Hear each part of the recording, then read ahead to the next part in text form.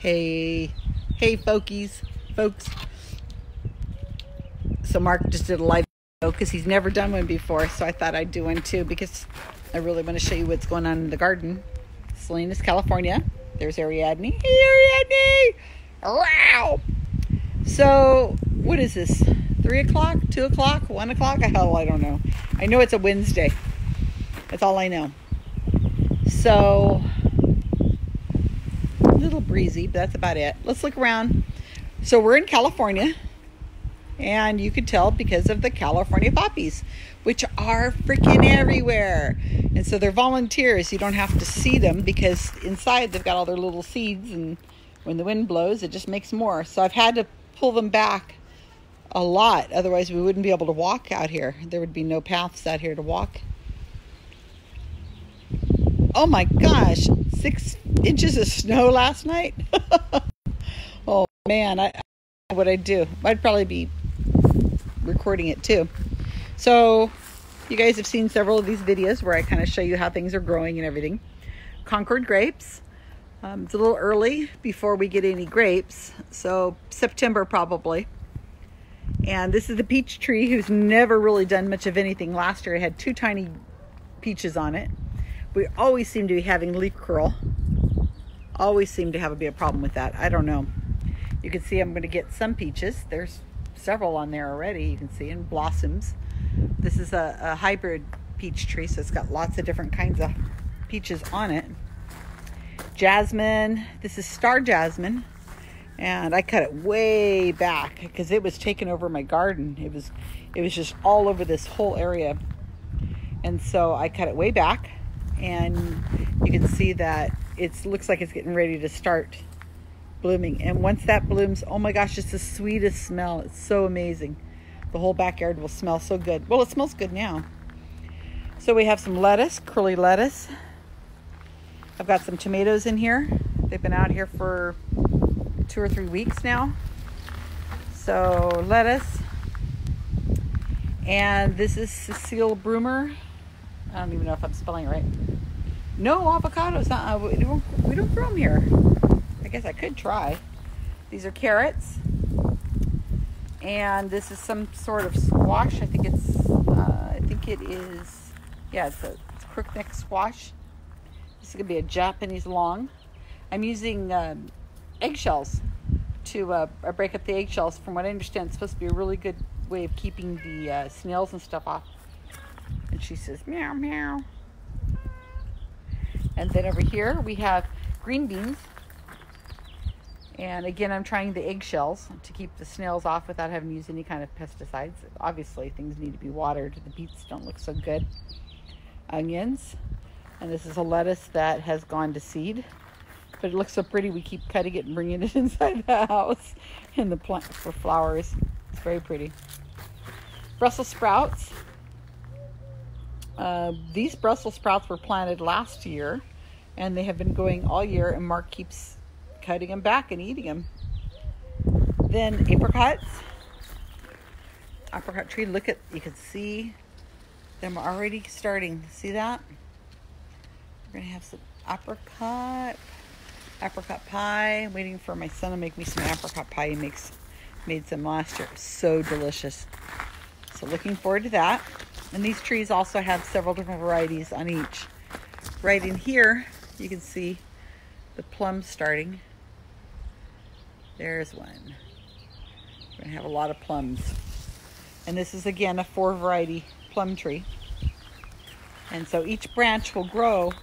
Um, you'll have apricots or plums or cherries for a week and then or two and then they kind of fade out. Here's cherries. You can see they're starting.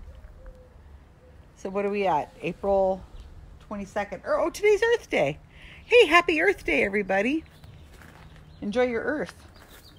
Mother Earth. I have uh, a lot of succulents here. There's some Johnny jump ups that are sneaking in through there.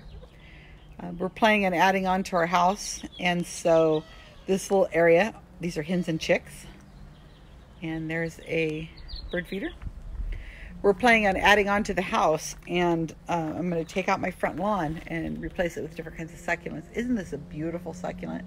I have seen this um, I've never really seen this before. And I really haven't been doing succulents except for like the last three years or so. I, nobody really explained to me how amazing they are. And so we're letting them get big out here so that whenever we go and put them in the front yard, they'll already be there. This is a jade plant that I rescued from um, my neighbor's house that was abandoned for, oh, a year or two. So I took it and, and uh, nurtured it. And, and look at this. It just came right back and it's blooming. Isn't that great? And then we have hydrangeas and some orange tree, orange things that I keep in pots because I don't want them to take over. But you can see the buds on these things. Oh, these are the sweetest, most amazing smell orange blossoms. So they're by the windows, by my office window, so that whenever I open the window, you can smell the, them come in. Can somebody remember what this is called? This purple plant? Oh my gosh. We've always had it when I was growing up. And it's growing out here wild, like the poppies. I have it in blue and I have it in this purple color. It's so beautiful. I cannot think of what it's called. Oh my gosh. Hey, Kenny. Your garden is, well, so, you know, I haven't really started my garden because this, just like a lot of this is wild. And a lot of it's left over from last year. And you can't really go to the, anywhere to get stuff. Strawberries. I cannot grow enough strawberries to grow, to to uh, handle my habit of eating them. And I've got um, more strawberries over here, hiding under there. A couple of them are growing. And the blackberries. And there's Ariadne hiding behind the bush. You can see her right there. But the blackberries, I keep them inside these buckets because otherwise they just take over. And um, I can see already I got to cut some of this back a little bit. I got some potatoes in here. That's another thing that you don't want to plant unless you want them everywhere. So I keep them in buckets. And you can see the blackberries are starting. Wish I was up in Oregon to Janine's house where she's got miles and miles of blackberries growing out. Go out there and eat them. They're so amazing. More strawberries. But like I said, I can't I can't grow them fast enough to eat them when I come out here and I see one, I say, "Oh, look, a strawberry," and I take it off and I eat it. So I can't even save it for for later. Onions. There's my my beets. I've got to get those things watered right now. After I hang up with you all, lots of lots of lettuce. Really mild temperature. This is about a typical day here in our town. We, you know, we fluctuate maybe 10 degrees higher, 10 degrees lower. It's not really much on the temperature stuff out here. We're pretty mild all year round, which is fantastic, but it's also kind of a pain because I'm really not good at temperatures, living in areas that are really hot or really cold or anything with seasons. Um, as I said, I didn't really plant most of these things, they just came right up and leftover from the years before. We like kind of a wild look. Lots of flowers, looks like they're going to come in over here. Um, so lots more to happen. So I'll keep you guys abreast of the of the garden as we as we have some time. You know, who has we we have tons of time, don't we? All right, you guys have a great day. Great to see you. Stay in touch.